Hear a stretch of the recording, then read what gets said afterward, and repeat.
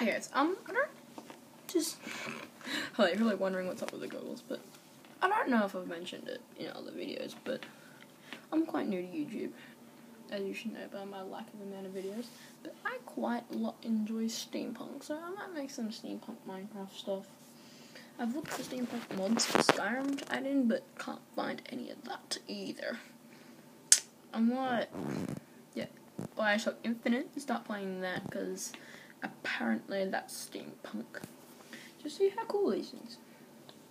I'm gonna get a lot of other steampunk merch.